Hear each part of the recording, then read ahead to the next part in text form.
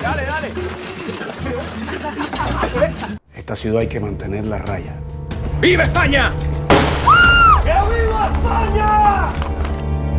¡Arrestadlos! ¡A todos!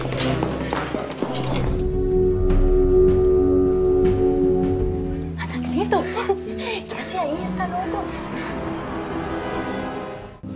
Por eso la película, que yo creo que es el más profundo acercamiento a la verdad que jamás se ha llevado a una obra de arte. En ese sentido, el mérito de Alejandro Gil, el mérito de sus colaboradores, es un mérito grande, porque nos presentan la verdad, la verdad como fue. Nos presentan además a los estudiantes eh, que van a aceptar la muerte en definitiva, pero aterrados como estaría cualquier joven cuando se les saca violentamente del aula de clase y se les lleva a enfrentar esta sin razón que en las 48 horas que duran los procesos y terminan la ejecución se va a ver como un espectáculo macabro en La Habana. Puede irse. Lo haré cuando libere a mis estudiantes. Me casé con un hombre bueno.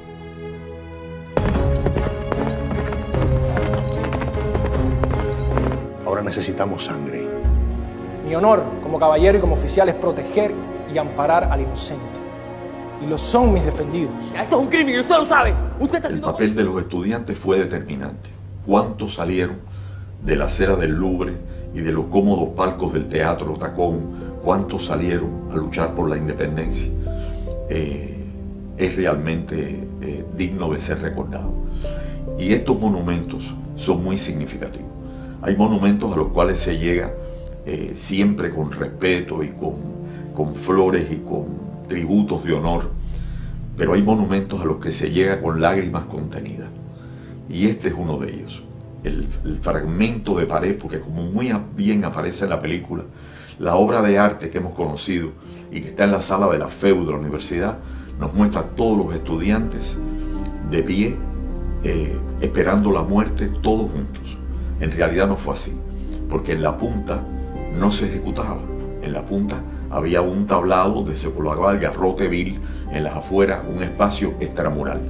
Pero en en este momento, para mayor escarnio y escándalo, se lleva a los estudiantes a los paredones del antiguo almacén de los elementos de trabajo de los ingenieros militares y se les coloca de dos en dos frente a los muros.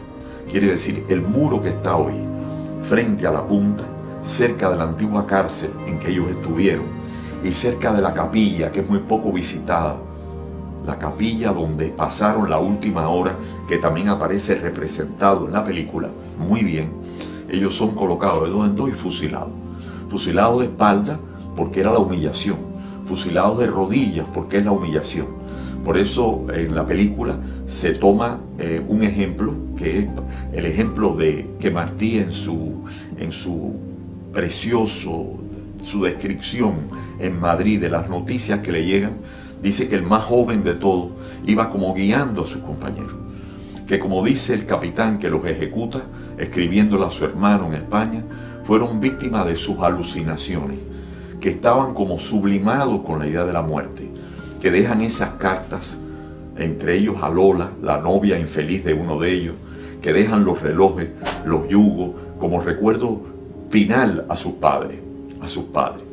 Y luego, finalmente, eh, la escena muy poética de que en ellos haya no el crimen vulgar de que se les acusa, sino un sentimiento cubano que emerge de ellos, emerge de ellos con tanta claridad que en la película aparecen poéticamente interpretando aquella bayamesa amorosa que se va a convertir más tarde en la bayamesa militar, quiere decir, en el himno nacional de los cubanos.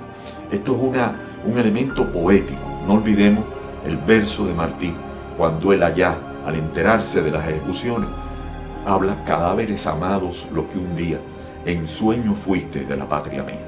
Y concluye diciendo, vagate en mi redor, vagate en tanto, que mi ser vuestro espíritu recibe, y dadme de las tumbas el espanto, que es poco ya para llorar el llanto, cuando en infame esclavitud se vive.